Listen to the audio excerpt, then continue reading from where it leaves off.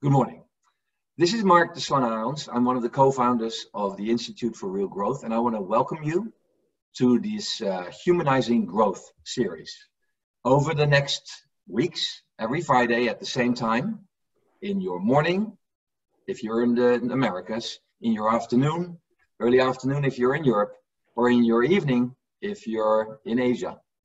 Um, we will be having discussions with uh, fellow growth leaders, discussing what it takes to win in driving humanized growth strategy. Over the next few weeks, um, I'll be talking, as well as Frank van den Driest, my uh, fellow co-founder of the Institute, will be talking to leaders like Paul Polman, Antonio Lucio, Mark Read, Miguel Patricio, and many, many more. Uh, and they are from the world of business, from the world of what it takes to drive humanized growth.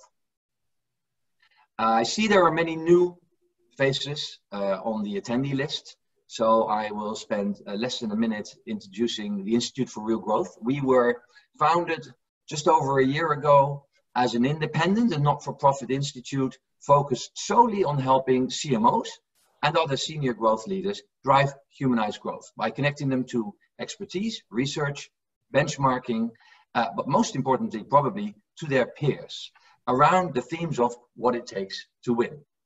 I said we were independent, but we have big supporters. Um, the Institute for Real Growth is supported by WPP, by Kantar, by Oxford University and New York University, the Saïd Business School at Oxford, I should say, the Exeter Group, and Google, Facebook, LinkedIn, and last but certainly not least, Spencer Stuart. And that's why it's very special today that I actually can uh, welcome an old friend, Greg Welch from Spencer Stuart, who is here uh, to talk with me over this next hour around um, the role of the CMO as a growth leader and the theme of humanized growth in marketing today and in our surreal reality of the post COVID world.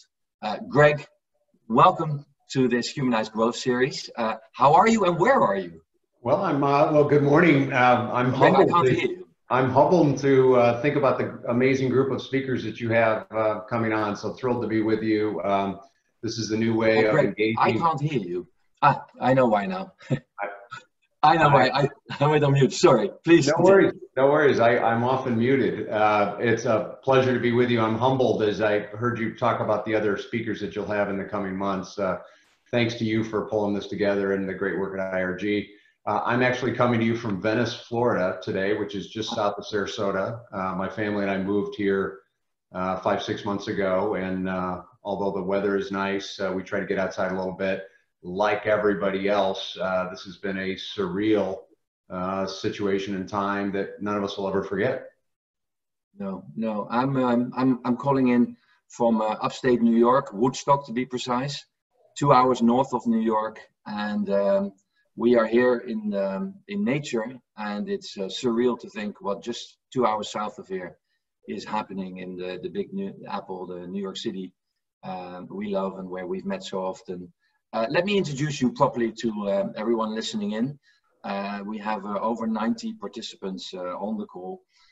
from all over industry, from all over the world. Many of them are participants in the Institute for Real Growth Leadership Program, and um, and uh, they have not met you. So a, a proper introduction. So Greg is uh, from Spencer Stuart, as I mentioned, but he isn't just from Spencer Stuart. He actually leads the marketing, sales officer, and communication officer practices globally.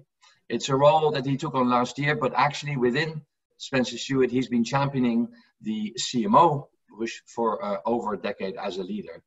And um, he is um, uh, not just a market leader in CMO searches, but he's also done a ton of board and CEO searches, which I think is relevant for this conversation. More than 20 years of experience, more than 600 senior placements. And I know that you're always very careful um, around um, um, uh, confidentiality, of course, but I think I can mention after the fact that you've placed uh, the big uh, marketers, the CMOs at Facebook, at Target, Beam Suntory, Hershey, stop me if I'm wrong, CVS, Aetna, Allstate, Planet Fitness. Uh, that's that's a, a, a, very impressive list.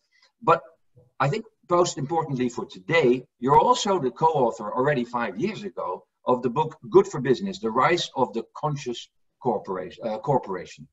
And, and, and this was a very early initiative where I think you were in many ways a bellwether for many of the themes that we're going to be discussing today and that are becoming mainstream now. Uh, Greg's been published in Harvard Business Review, Forbes, Advertising Age. Um, and what's interesting is if there is a CMO gathering somewhere in the world, uh, you held up your cup and I noticed the 50 logo on that cup. I have the same cup. That wasn't there. Greg, Greg is always there. So at the Marketing 50, the CMO Council, the ANA CMO uh, board, uh, Greg is there because uh, it takes a village and um, he is a, a, marketer at heart. Now, um, I think he's probably actually uh, one of the most connected, if not the most connected person worldwide with CMOs globally. So, Greg, there's a long history of work around CMOs. Is it just because that became your specialization, or is there more to it? You know, I actually, thanks, Marc, for all that. Uh, I was actually hired into the firm 20 plus years ago with the notion of building out the sales function. And ironically, as I got into it, for every sales search I would do, I would do three or four marketing searches. And so I, I got lucky, I suppose, and kind of backed into it. I suppose it's not surprising when you think about a sales organization with a pyramid of lots of talented people that move their way up and get promoted, more likely that a sales leader might come from within, which of course makes great sense.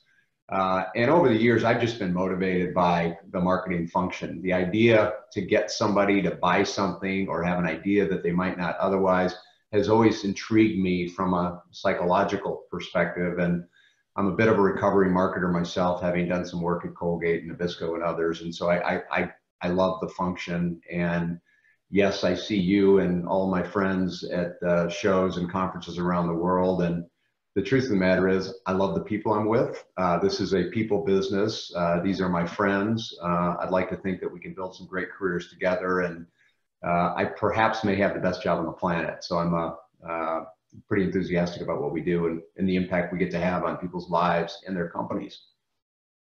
Well, it's interesting you say that because I think that's very true for um, Frank and I too. Uh, we started Effective Brands almost to the day 20 years ago. And uh, Effective Brands was focused on global brand leaders, as you may remember. Uh, the head of Dove globally was the first uh, client, Silvia Lagnado, who's now the CMO at uh, Natura. And, and, many of those people have moved into CMO roles already over the last decade. we really were only working with CMOs, and it became our club. And when we did Marketing 2020 together with you and Spencer Stuart, which is now five years ago, um, that um, really cemented the relationship. But it's um, you know, we weren't planning to go here as part of the humanized growth um, series, Greg. But before we get into that theme, you know, the world is um, um, crashing ra- uh, down around us. And, um, and, and, and there will be people on this call uh, that have been furloughed or that are furloughing their teams uh, that are uh, suddenly in a very different situation than before. So before we let go of the, the headhunter focus or executive search, as I, I, I know is the official uh, description, can you talk a little bit about um, what a search process for a CMO typically looks like? Great. Um, well, every every process is a little bit different, but at a at a high level, and I'm happy to dig down if the listeners are interested. So, in a typical mandate, it starts with a phone call that I get from the CEO or a CHRO, uh, and the the list of of reasons why they may make a call vary. Um, in a good news story, somebody gets promoted and has moved on or gone up in the organization, but in many cases, CEOs tell me, "I just need something slightly different." And this is a theme that we hear, and Marc will circle back to if it makes sense. But uh, typically, what we'll do after we do an environmental where we learn all we can about the company, we try to think about where they're headed so we can look around corners on what are the skills that they might need going forward.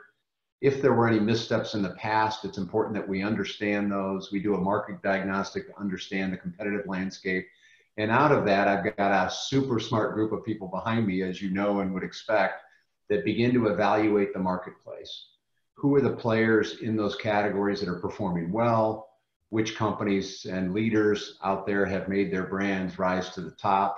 Uh, who are the people that peers and subordinates are talking about as a person that's got a charismatic personality, that's doing great things, that gets the best out of a team.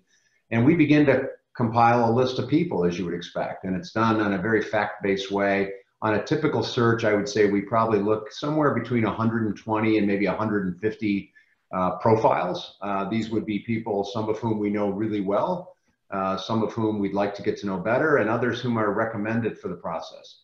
So we try to avoid the temptation on the front end to call the people that I think would be great for the search, although I do that as well. Uh, but through a pretty rigorous uh, research project, we'll look at, you know, call it north of 100 people. Over the course of a search, we'll probably talk to 60 or 80 in person to have a conversation. We can't assume that everybody's interested in the search, and we certainly won't assume that everybody's qualified for the search. Mm. Uh, so I spend a lot of my days delivering bad news about why someone may not be quite right for what we're looking for. Uh, I'll probably, in an average search, meet 20 people. Oftentimes, it's now like this via video. Uh, we do background checks on those people. Uh, we try to figure out how they fit. And Marc, as you would expect in every search, nobody's perfect. Nobody's going to stack up perfectly against the criteria. And during this process, I'm also spending my time, and our team is spending a lot of time with the CEO to make sure their expectations are appropriate, what the market will yield, what it's going to require uh, from a obscure location or financially what it's going to cost or who they can get. And part of my job ironically is to make it make sure it doesn't turn into a popularity contest.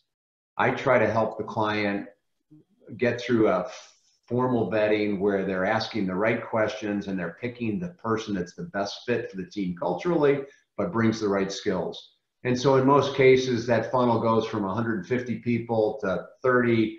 Uh, ideally, we'll have them meet four or five candidates. And, and if we do it right, uh, two or three emerge as finalists, and then hopefully the client has a difficult decision to make.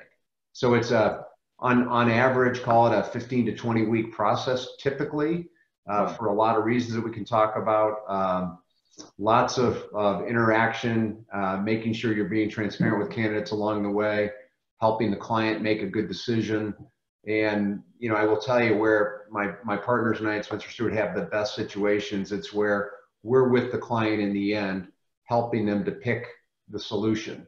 Uh, the, the truth of the matter is there could be a couple of people that might be great solutions. Of course, our mission is to help them find the very best fit. Yeah, I, I read somewhere else in an interview with you that um, you said that uh, a lot of the conversations you have are bad news conversations.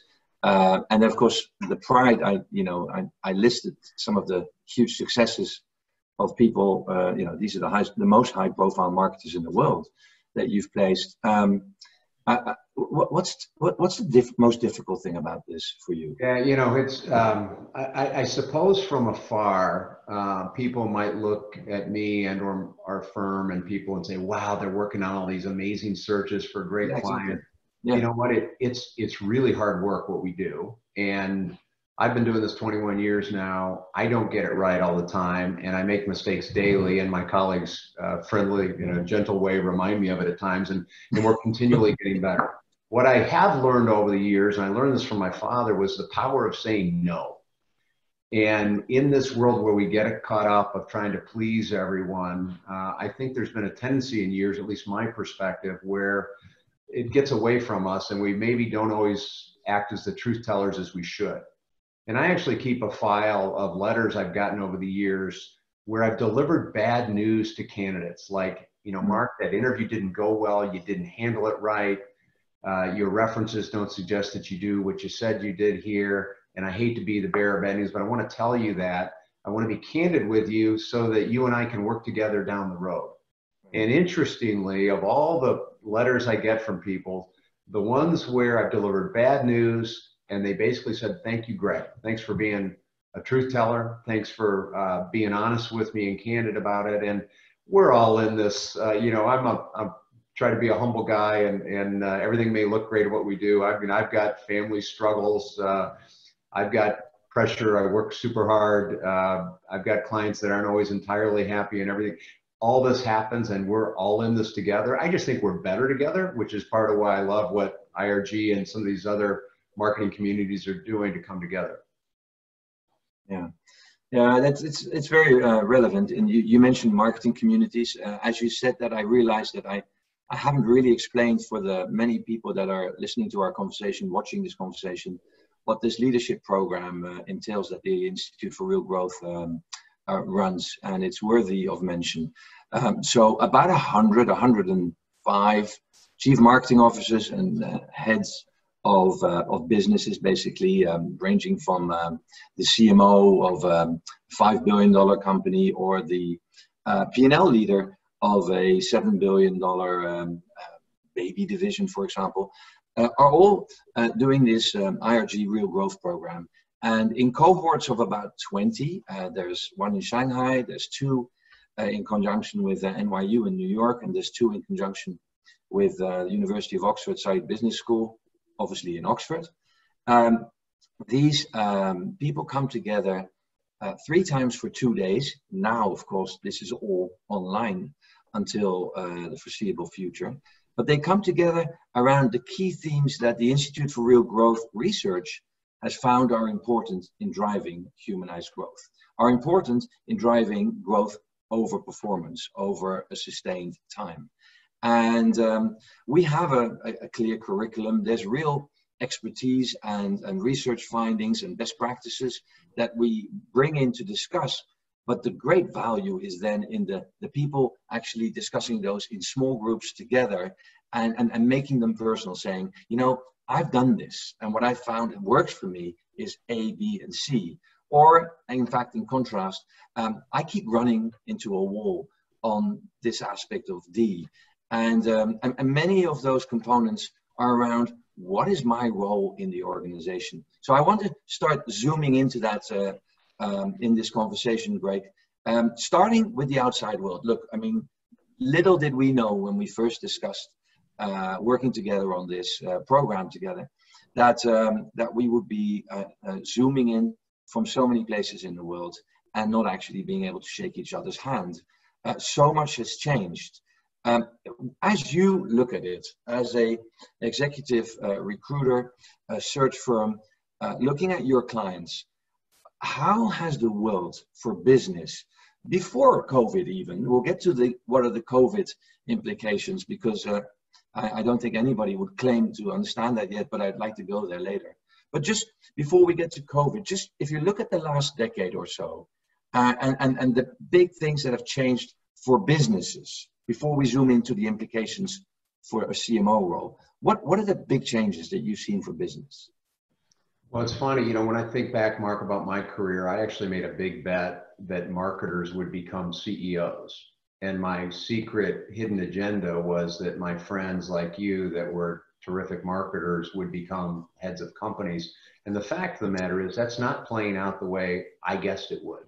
No. Now, again, this is not a, a mark against his incredible talent. Um, there are amazing marketers and many when I look at the restaurant world or I look at CPG, many of those P&L marketing leaders are running the companies, uh, but it's not playing out exactly the way I would have guessed. The fact of the matter is um, that leadership tomorrow continues to change. Uh, when I think about uh, the power of the consumer above all, and this is why I have great hope that marketing will continue to become critically important or more and more important the voice of the consumer with loud mouthpieces, with bullhorns in some situations, chiming in on brands is not something we had happening 10 years ago.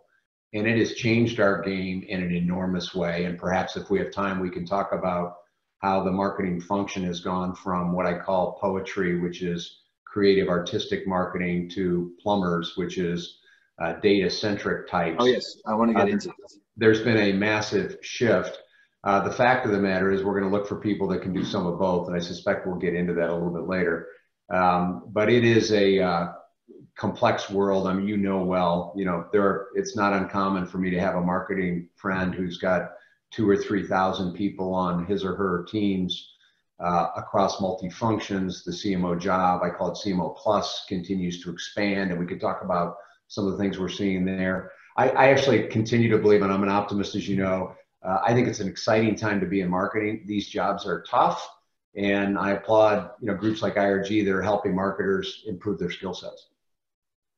Right. Well, um, Okay, so let's let's zoom in then a little bit on on that marketer uh, and, and CMO role.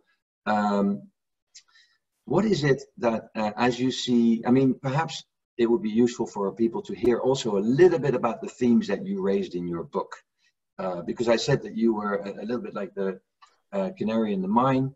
Um, you uh, you raised some key themes there that also in the Institute for Real Growth Leadership Program uh, have become central themes, but we're five years down the line from you.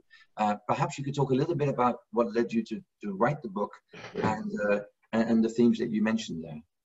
You know, it's, um, it's, it's kind of ironic. It was almost 10 years ago, actually. Andrew Bennett, a friend of mine who at the time was running Havas, he's the CEO of Harte Hanks now, called and said, Greg, I got this idea that the market around us is changing in a dramatic way. Um, we need to write about it. And he, he had hoped that the perspective that I gained at Spencer Stuart would be relevant to the listeners. The fact of the matter is, um, I don't know, I don't want to be naive, but I don't believe 10, 15 years ago, people were making purchase decisions about their washing machine or their automobile or their stereo based on other criteria about the company, whether it be their stance on sustainability, whether it's their CEO's compensation, their carbon footprint, how they treat their employees. And all I know is we began to see this, and you've put a magnifying glass on this in the last couple of years with your work.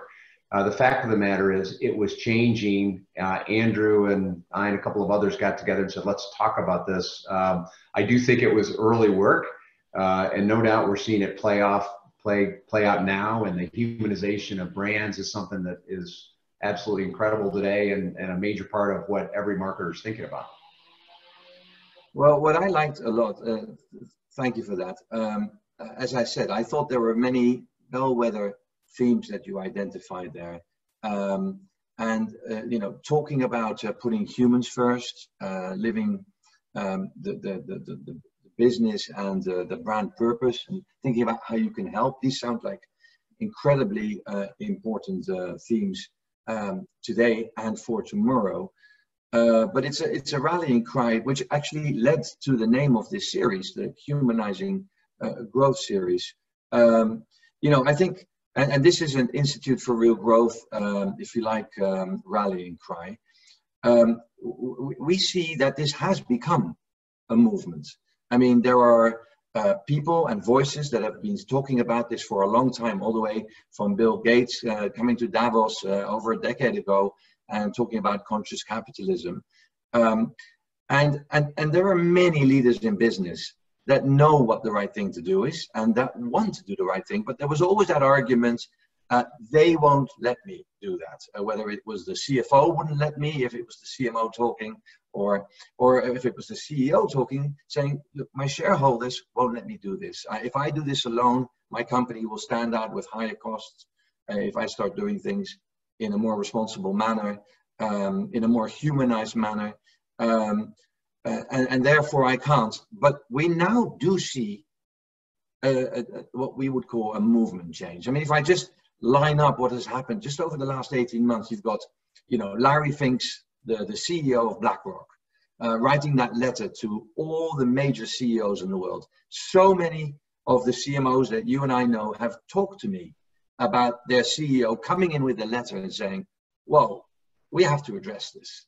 And, and, and him basically saying, look, of course I'm interested in your financial results, but if you present a strategy that doesn't explicitly explain how your business is going to create value for the other stakeholders of this corporations. The, we call them the four C's. Yes, the capital markets, but then the community, the colleagues, and of course the customer. If I don't see a strategy for how you're going to create value for those other stakeholders also, I'm not going to invest in your company. And then just, you know, uh, right on the back of that, I think that was probably licensed for many CEOs to say, okay, if you're asking for it, I'll give it to you. And the, the Business Roundtable in the US, you know, 200 top CEOs uh, declared after 30 years their purpose for the corporation had been completely, um, I think it was Milton Friedman based, you know, make a profit, don't break the law, but focus on profit. And now they've changed it to a real multi stakeholder, what we would call humanized growth perspectives, where they recognize the, the importance of the company to create value for all of those leaders, for all of those stakeholders, I mean. And then just most recently, little did we know, uh, post COVID in Davos, where, and all credit to Davos, they've been saying this for a long time, but they restated that sort of um, uh, reneging on the shareholder primacy and saying, no, we're here as a company for all stakeholders. I mean, uh, that's clearly a movement. And those CEOs signed that declaration. Um, but, you know, what do you think is the impact of that? And do you see that movement too now? Well, you know, one of the, the tenets of what I would have I've watched for many, many years uh, of great leaders is courage. And whether you agree with Larry Fink's comment or whether you agree with bold moves that Nike or Burger King or pick a company have done, uh, I personally love it. Uh, you know, I'm, I'm super intrigued by his move. And in this case, and I don't remember the number, I think it's like $7 trillion that BlackRock has. And they've now made a vow of, I think a quarter, if, if a quarter of your profits are derived from thermal coal, we're out. Yeah. And the ripple effects of that bold statement, and you are absolutely right that CEOs across the world had it on their front, on the top of their desks, and their comms department and their investors were asking, "What are you going to do?" And and this is clearly a tipping point. And and again, this is part of why I I, I love what we do. I'm intrigued by how companies are going to respond. Um, and I think it's right at the center of what you've been talking about. And if you haven't prepared your brand to be human, authentic, transparent, and for for Pete's sake to stand for something, why do you need to exist? And I love that marketers are doing a really honest self-assessment with their CEOs to say, why do we deserve to live here? What's going to be unique about us? And how are we going to deliver this message? And how are we going to show up? and it's changing everything. I mean, for my world, it's it's creating uh, you know madness in some cases, but I, I'm really proud of many of our client companies that are stepping up and and quite frankly doing the right things. But it's going to cause massive, massive ripple effects, and uh, this is the new day that we're in right now for sure. Well, you know what what I find so interesting about that is you've got these 200, let's stick with the, the American group. And, now, and in fact, America's probably lagging Europe and uh, every part of the world is in a different phase. We're going to talk to uh, Patrick Xu, the uh, CEO of uh, WPP uh, China next week. Uh, my colleague Frank van den Driest will be having a conversation with him um, same time next week. Uh, and I, I want to just point out that there's a Q&A button at the bottom of your screen. Uh, feel free to um, to add questions that you have for for Greg or myself, or that you would think uh, take the discussion uh, in a direction that you wanted to see it go. Um, but you know that movement, that uh, that sea of change, uh, in many ways, I think you know, the big changes in the world, and again, we're talking in a very special moment, they happen because movements were created. And there's a tipping point. I think you used the term just now. Uh, so here's these 200 CEOs that have signed this business roundtable declaration. My guess is half of them are going back to the fort and thinking, how am I going to do this? How am I going to coordinate my stakeholder value creation process? How do I even understand the needs of these other stakeholders that are apparently important. Uh, how am I going to translate that to value? How do I make sure it's coherent? And they're going to be looking around their boardroom going, and who's going to help me do this? Am I going to coordinate all this? Or is there someone, and this is a leading question, what do you think are the implications for the CMO role when that question is on the CEO's mind? Yeah, I, I can't, you know, again, I can't imagine a better time. There's incredible pressure in these jobs but great marketers are the ones that have the platform, have the ideas, understand what consumers are saying about their brand, understanding the competitive landscape, and understanding where our brand can travel. And, you know, I can't imagine a better time than right now to do that. You know, and, and admittedly, in a time where a CMO is in the chair for 44, 45 months on average, you got to move quickly uh, I think in most cases, you think of yourself as a caretaker for this chapter of the history of the company or the brand. You know, what I would like to think is that the marketers that I know that are doing it well are thinking about how do I plant seeds today such that we'll be resilient and thriving down the road. And it's not unlike what's happening right now, Marc, with COVID. Uh, here in the US, as you know, uh, Wall Street will likely give many CEOs a hall pass Exactly. Whether your business is down 40% or 60%, who notices uh, the difference? All are tragic, and the reality is going to happen. You know what they're caring about is what's your plan to come out? Exactly. What are you going to look like? How are you going to modify what you're doing today? And it's my hope, and I know in many cases that powerful, courageous CMOs are at the side of the CEO saying, here's what we can do, here's how we win. And we're already beginning to see some of that happen right now, which is exciting. Well, you know, so uh, the conversations that happen in the Real Leadership Growth uh, Program uh, are confidential. People are in cohorts of 20, but then during the meetings, now also in these breakout rooms, they meet in groups of four or five, and those are confidential uh, discussions. But we always regroup. And over the last uh, few weeks, we've had uh, almost all of the participants actually weigh on, weigh in on the role of the CMO now at this time. Um, and one of the key themes that we're hearing back is one, at the moment, the CMO is not in the driver's seat.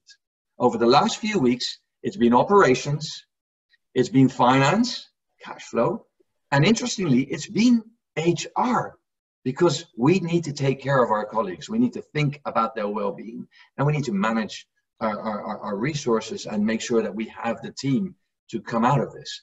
Um, but what we've also heard across the board is that CMOs are saying if at any time it was easy to start a conversation about the importance of humanized growth, the importance of all those other stakeholders. Think about what companies are thinking about now. It's about what impact do we have on the community? How are we helping the community? How we're taking care of our people?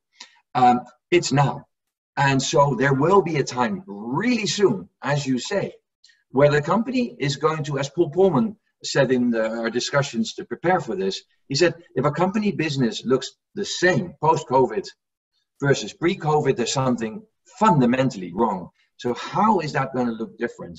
So, I mean, what do you directly think the implications are for the for the CMO role, and who do you think is doing this well? Yeah, you know, it's fun. It's funny. I, um, as you would expect, and I know you've been pulled into many of these as well. The marketing community came together. You know, one of the silver linings in all this is that I have seen this group come together and sharing of best practices and ideas. And the conversation of the last four or five weeks has evolved from do we speak? Should we go quiet? Yeah. Uh, I'm worried about the, the will my company survive? I'm worried about having to furlough 50% of my team to how do we want to show up? And when I look back and and uh, see what's happening behind the scenes at, at the way Rick Gomez at Target is handling things, the way they're being empathetic for their guests. Norm DeGreff's doing the same thing at CVS. Yeah. Uh, my friend and schoolmate Mark Cuban, you may have seen uh, with the Mavericks. Uh, no, I didn't see it. No. Decided to do a deal where all of his employees, uh, if they have lunch at local restaurants, he'll reimburse them during this time off. Ah, yeah, yeah. You're seeing Microsoft paying all the hourly workers uh, that take care of the campus even when they're not there. We're seeing companies like AB InBev begin to uh, transform their manufacturing into producing hand sanitizer. So we're seeing this, do we make donations? Do we commit to our employees that we're going to do the right thing? And, and the good news in all of this is I have seen a unity and a coming together in what has recently been a quite divided country. And my hope is that these random acts of kindness and things that are going on will continue post COVID. Uh, but there are some some elements of this, and I will also just tell you from a um, many people sitting at home, I got to tell you, I'm embarrassed a little bit. I feel like I know more about my own team's children, dogs. Um, a moment ago, I had to hit mute. You guys will laugh. I'm, of course, not at Spencer Stuart. That's a bad screen behind me. But um, my daughter was apparently making a smoothie, and I heard this loud blender in the background. that, yes. I said, "Please be quiet." You know. Uh, uh, so this is this is the new normal of what we're dealing with, and and I'm in it with you. Uh, mm-hmm. The fact of the matter is, I think people are, are spending time and being more sympathetic and empathetic. You know, I, I think the latest I had heard, there were some, you know, two over 2 million people infected and there's been 140,000 deaths. Um, you know, can't quite get my hands around how we all cope and deal with this. But again, I do think we're better together, and uh, and and I'm I'm looking at the bright side of this. I'm making lemonade, and uh, I'm getting to know my team and many of my candidates and clients better than I ever have before. You know, it's so true. And um, I, I, I, was thinking yesterday, I was speaking to the CEO of uh, one of these um, companies, um, uh, Convene. Uh, they are WeWork uh, competitor, uh, joint spaces, events, and their business uh, massively impacted. And he was just going through all the initiatives that, that they're undertaking. And at the same time, his three or four year old son was hitting him from the side. First, he was able to keep it out of view, and suddenly and it made me think of what you know the, the video that rightly uh, on youtube deserves to be one of the favorites uh, ever of that bbc correspondent in hong kong whose kids and ultimately nanny come crashing into his room.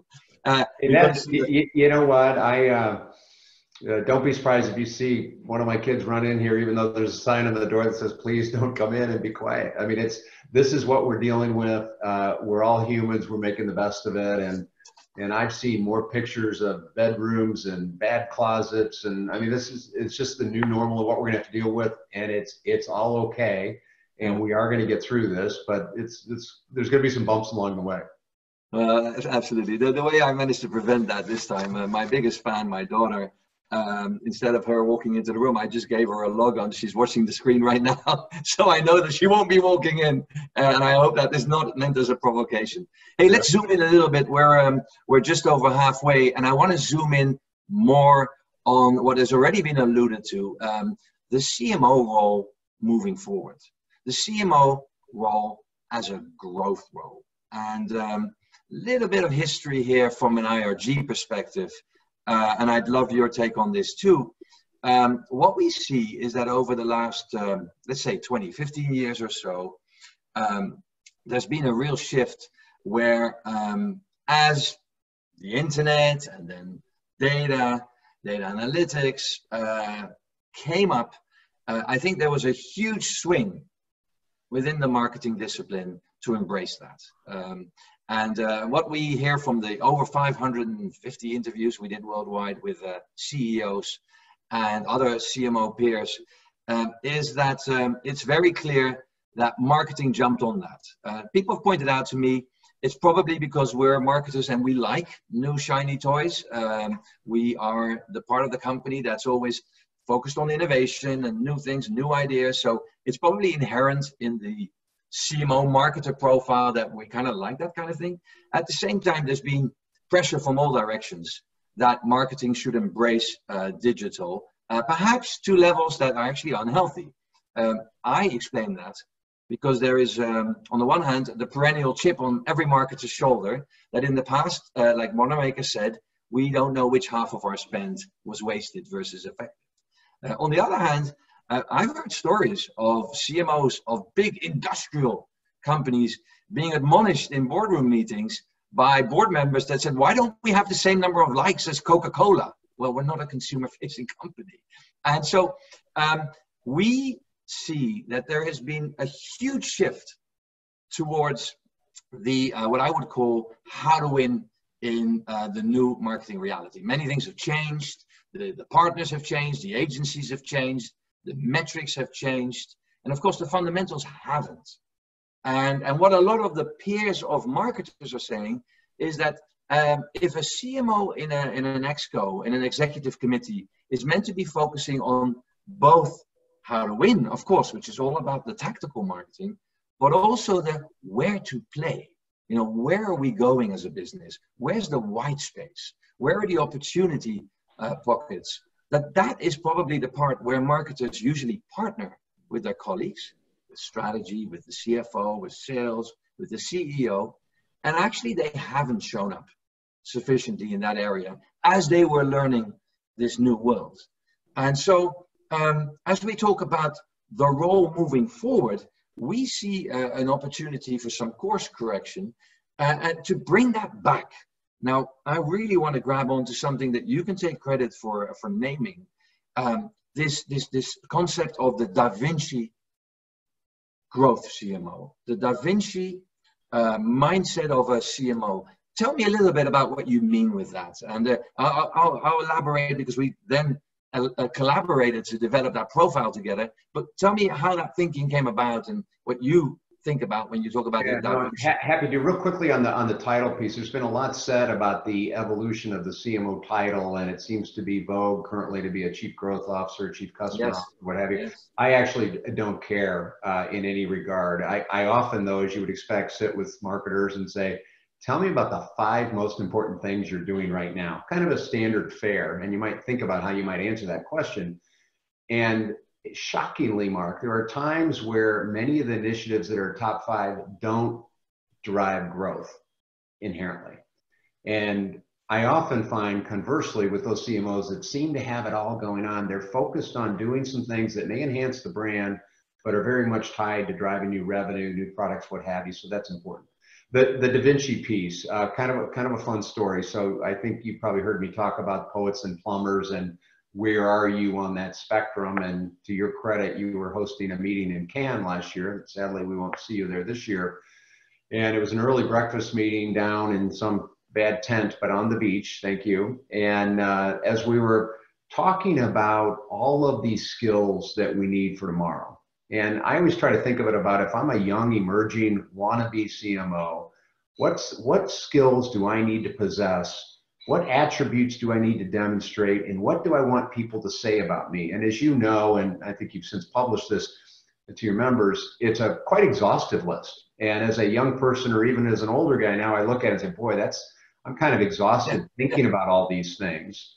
And as we were talking about all the key attributes that, are, of course, are important, which is a good kind of a guiding light, I think, true knows for, for any marketer, I popped out of the your your uh, your meeting, walked up the steps, and sure enough, and I was in the midst of reading the Leonardo da Vinci book by Walter Isaacson. If you haven't read it, everybody should. It's amazing. Absolutely. Absolutely. And I look up and I see the Da Vinci restaurant right in front of me on the on the plaza. And it was at that moment that I started to think about let's think about Leonardo. And what I didn't know until I got into the book uh, is what a prolific inventor he was that he was building waterway systems. Um, you know, of course, we knew him as the one that did the Last Supper and the Mona Lisa. He was an artist, an amazing sculptor. But this guy was an engineer, he was an inventor, he was an architect, and he had both levels of it. And I think perhaps an analog for marketers to be thinking about today is, and it's somewhat gross in the book that you may recall, is he was interested in what was under the skin as he began to both model, sculpt, and paint human bodies, and he was very into the human body. Muscles, the nerves. He did some pretty uh, uh, borderline sick uh, yeah.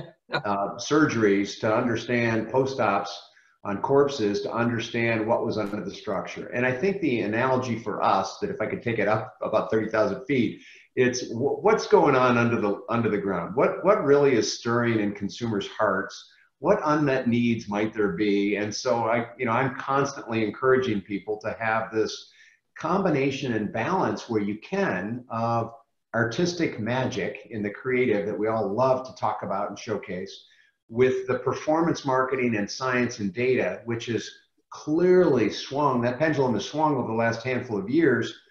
And I don't have many original thoughts, but I often study, I've made my life of this, study those that really do it well. And those that are doing it well look more Da Vinci like. They're in the middle and they've got this combination of both they're first and foremost leaders. You know, when I think about who's doing it well, like, you know, my friends at Facebook, I think both Antonio Lucio, who I'm thrilled to hear, I didn't know he was going to be one of your speakers, and yes, uh, doing some amazing things there. Uh, there are some companies that are really approaching it in a humane way, being authentic, uh, quite frankly, making sure their teams look like their consumer population and doing what's right from a diversity standpoint. So the, the good news is there's some great work going on behind the scenes, and it's been fun to use Da Vinci as an analog, if you will. Uh, there's many, many attributes there. You know, I'm trying to pick my favorite is a little like trying to pick my favorite child. Um, not the one that was with the blender a moment ago, but uh, um, yeah, well, there's a lot, of, lot of good stuff in there to unpack. well, you know, so so a few things uh, sort of so very serendipitously came together because the um, when the um, the Institute for Real Growth led the growth study now over a year ago, um, it, it identified the seven building blocks of real growth, uh, and and one of those was whole brain. which really goes to this point. I mean, it really talked about, you know, I think there are probably very, very few people, I only know a few, and I certainly don't count myself among them, of what we would call whole brain people that really are able to full time manage and equally uh, lean on the right and the left side of their brain. But what we see overperforming organizations do is that they build teams of equals, bringing those two together. And this is where the humanized um, uh, growth part also comes in. And I think this is also in the, in the IRG program, Greg. We've you know we've we've run with the Da Vinci profile, and we'll get a little deeper into it in a minute. Um, but we've run with it, and, and we said there's there's actually a need for a renaissance of the marketing role, because you describe it very well. Um, where perhaps uh, 10, 15 years ago, marketers were in the doghouse because they were seen as spenders, uh, perhaps even wasters of company funds, uh, not knowing what part of their spend was effective. Uh, they've course corrected and probably maybe throwing the baby out with the bathwater on understanding all the data, doing perhaps even more digitally than they should because they can measure it, even if that's not what we should be doing. And, and, and, and with that has gone perhaps the thing that really makes marketing unique in an organization. No one else in a leadership team will bring this to the table. Indeed, that unlocking the humanized aspect, you know, unlocking data with human insights. If we don't understand what's actually driving the motivations for the behaviors that we're measuring, we're seeing performance uh, marketing companies that are world class run out of ideas. Human insights is are also the, the human creativity brings or unleashes the magic of the technology. We, we can do almost everything now, but how are we going to apply that technology? It's human creativity that brings that together. So that whole brainness, um, so, so important. And, uh, and in that da, da Vinci growth profile, uh, we really talk about how those both are important. Um, what do you think, if you look at that profile, I mean, let, let, you know, and we'll get into what that profile looks like in a minute. But if people become more rounded, will that also then perhaps pave the way to your uh, earlier ambition for becoming a CEO more? Yeah, you know, it's a, it's a great, it's, it's a topic that's near and dear to my heart. One of the things I worry about with the senior most group of marketers is that they perhaps didn't have some of the rounding experience in other functions early on. So the message I would throw out to younger emerging stars that want to do more is go round yourself out early on. It's t- difficult to get a, a, round, a foundation and a rotation through finance when you're too senior. So try to you know sharpen that sword now.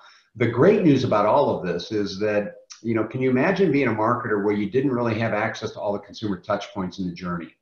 Mm. The good news is I'm seeing the evolution of the CMO plus job where having customer service as an opportunity, as an example, should be part of it. And can you imagine the gold that is gleaned from those service agents as they're engaging with customers about what they do or don't like about the product? Can you imagine not having access to the e-commerce website about uh, what people are looking at and how and why? And, and that's why I think we're seeing these CMO jobs, the big ones that are are this isn't a land grab, but they're getting they're becoming expanded roles and touching every part of the customer journey. Uh, I, I, think it's it bodes well for the breadth of responsibilities that these people are going to have. The last point I would make, and I would lift up near the top of your list on Da Vinci, is this notion of being a, a collaborator. Uh, mm. Having trusted relationships with your peers and being a servant leader, I can't think of anything more important. But if you don't have a trusted relationship where you're collaborating and you care not who is getting credit, um, you know that needs to be at the forefront. And when i just sit on the ringside seat and watch what's going on it's those marketers that don't really care that have those trusted relationships where the cfo's got my back and uh, i'm trusting you know the head of supply chain so that her team is doing what she needs to do. I mean that's what we need. And, and it's not always going to be rosy but you need to work really hard to have those trusted collaborative relationships. Well you know it's um, credit to mckinsey um, who did a piece of research uh, very early on this year, um, which directly correlated the effectiveness of a CMO to the number of productive collaborative relationships with ExCo members. And there is a correlation. Literally, The most important uh, collaboration, uh, obviously, is the one with your boss, the CEO.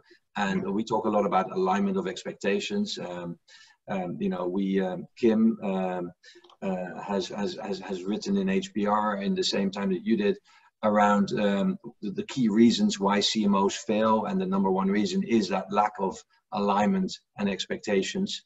Uh, but the number of relationships with other ExCo members correlates directly uh, with effectiveness and, and, and tenure. Um, I, I want to explain to our listeners a little bit um, more about that Da Vinci um, profile. It's available on the uh, Institute for Real Growth uh, website. And uh, as of a few weeks from now, uh, you'll actually be able to um, benchmark yourself as some of the um, Institute for Real Growth Leadership Program participants are doing uh, against that profile. So if you're interested in that, uh, we will reach out in, in, in, probably about two weeks. It's in development now for a broader use. And, uh, and we'll invite you to, uh, to profile yourself against the uh, Da Vinci um, growth CMO profile. But I wanted to say a little bit more about what it looks like.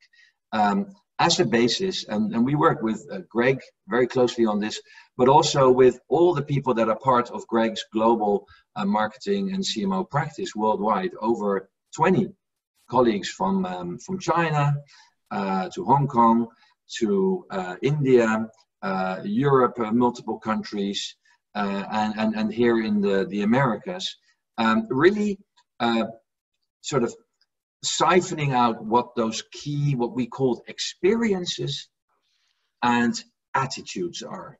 Now, in the past, people have talked about skills and competencies, and um, we actually chose very consciously for those two descriptors because skills are what ultimately the CMO, uh, the CEO brings you in for. There's a job to be done in this role. And uh, I think you said that when you look at the profile, you're almost tired uh, and I think that the realization is that no one does all of these things well. But I think your conversation with the CEOs about now what do you need in this company over the next few years. So the, the, the, the focusing in on what experiences do we need this person to bring to bear is one, but the other is the attitudes. And you know, we we can't help you suddenly develop uh, experiences, but attitudes uh, manifest through behaviors. And so in the real um, growth leadership program, we actually work with the CMOs and other growth leaders to understand what the behaviors are that manifest the attitudes. And you mentioned a few, servant leadership, collaborative, um, um, but, but also curiosity, because surely it's the marketer that is the window on the world for the company.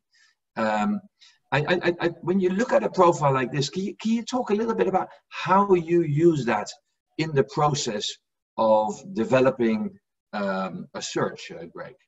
Well, typically, so when we do the environmental that I mentioned a moment ago, when we go to visit a new client, uh, if done right, we get a chance to sit down with the head of supply chain, head of ops, head of finance. And it's interesting and perhaps a loaded question when I ask the question, what do you want to see from your marketing partner that you're not seeing today? Mm you know, be careful how much time you have because these people have views, they've got a well-informed perspective, and they're it matters greatly. And one of the things that my colleagues and I have spent a lot of time working on is this notion behind a book that one of my partners, Jim Citrin, wrote called You're in Charge Now What? And it's the idea of how do you build momentum early on? And spending time with the peer group versus thinking about doing the marketing really is at the top of the list of things you need to do at the beginning. Uh, the fact is, if you don't have trusted relationships with those people, you're not going to know what's going on. Uh, just because the CFO thinks the marketing team needs to do something, I'm not encouraging you to, to race to the other side of the room on that dimension, but to make sure it's your job to make sure that they understand what you're up against. Uh, the great CMOs right now are asking their colleagues, what can I do to help? Um, so they're bringing that empathy, sympathetic to what you know, I've, right now supply chains and operations are are grinding, and the marketer needs to be somebody that will be somebody that's and HR. Yeah, yeah, I, I, you know, I'm getting a lot of questions around the, you know, remember the audience that we're that, that's listening in and, and viewing in at the moment is mostly CMO level, and so you know, they can't go back and go broad discipline. They either have or they haven't in the past. But as you think about their role post COVID and just sort of longer career, you know, these are ambitious leaders. Many of them feel that the company, that they bring what the company needs and, and probably have that CEO ambition.